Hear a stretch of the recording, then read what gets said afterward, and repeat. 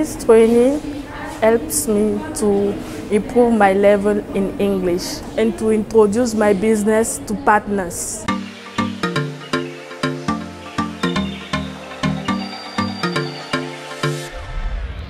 My name is Madjidath Ouro-Djeri.